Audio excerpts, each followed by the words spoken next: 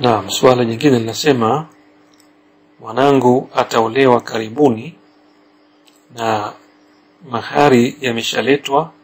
Je, pesa hizo tukizitumia katika shughuli nyingine inafaa?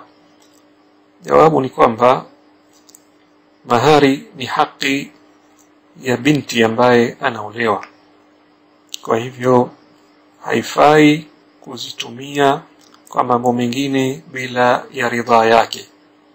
Ikiwa yeye mwenyewe ataruhusu au atazitoa kwa ajili ya watu wengine kuwapa, kuwagaia, kiwazazi wazazi wake, kiwa ndugu zake, basi hapana neno, kama alivyosema subhanahu wa ta'ala, wa atu nisaa sadukatihinna nihla, na wapeni wanawake au wake ambao mnaooa mahari yao kama ni haki yao yani chumbuko ambayo nini hamtaraji wa kulipeni au wa kurudishieni. Kwa hivyo wakishapewa inakuwa ni haki yao, lakini anasema subhanahu wa ta'ala فإن طبن منه فإن طبن لكم منه شيئا فإن طبن لكم منه نفس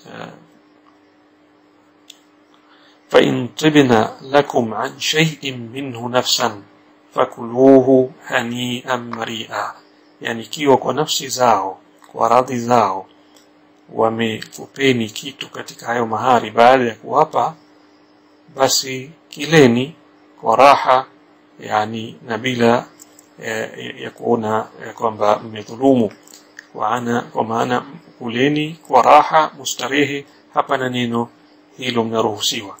Kwa hivyo hiyo ni hukumu ambayo wanaambiwa waume ikiwa mwanamke atarojesha kitu katika mahari kwa ridha ya nafsi yake kwa khiari yake. Bila yeye mume kumlazimisha basi hapana neno wanaweza kutumia kitu hicho. Kwa hivyo hata hawa wazazi au ndugu au wengineo ikiwa atawapa mwenyewe kwa radhi yake yule mwanamke katika mahari yake hapana neno.